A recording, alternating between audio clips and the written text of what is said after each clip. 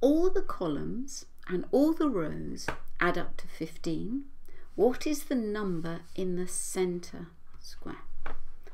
So the columns go up and down. You know, in a church, the columns go up and down, and the rows of seats go that way, don't they? So on the ground, they stay down.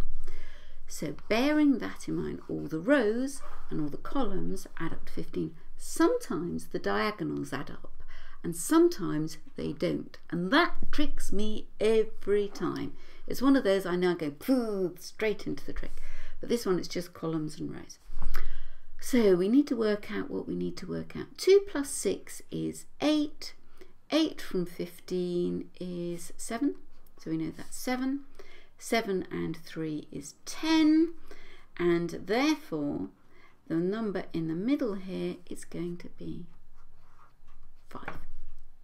You okay with that?